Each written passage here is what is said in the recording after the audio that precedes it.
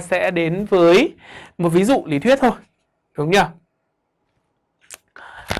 À, chất rắn A này, màu vàng Bây giờ lại cho tác dụng với hydro ở nhiệt độ cao thu được khí B mùi trứng thối.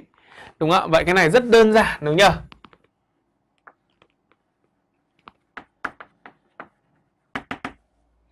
A màu vàng đúng không? Vậy thì A chắc chắn lưu hình rồi. Đúng không? Khi cộng với H2 này tạo thành khí B có mùi trứng thối và chắc chắn B nó phải là cái này rồi. Được chưa? Được chưa? Đấy, vì vậy thì chúng ta sẽ cân bằng ở đây có cái này là chất A nhé. Cái này chất B rồi, đúng không nhỉ? Tiếp theo, đốt cháy B có mặt oxy dư thì được khí C không màu mùi H. Vậy lưu ý giúp thầy là khi đốt cháy H2S ở trong điều kiện oxy dư thì sản phẩm sinh ra của chúng ta sẽ lên đến tối đa là SO2.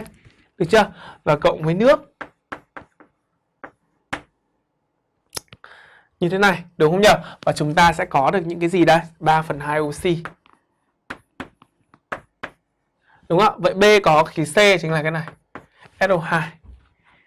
Cho khí C tác dụng với khí B thu được chất A.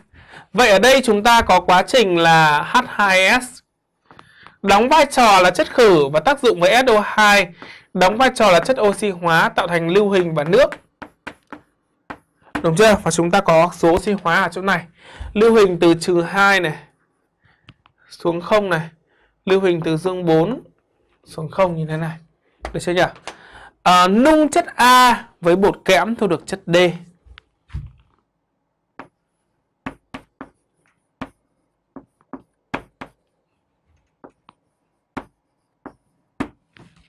Chất D như thế này. Vậy chất D của mình là ZNS.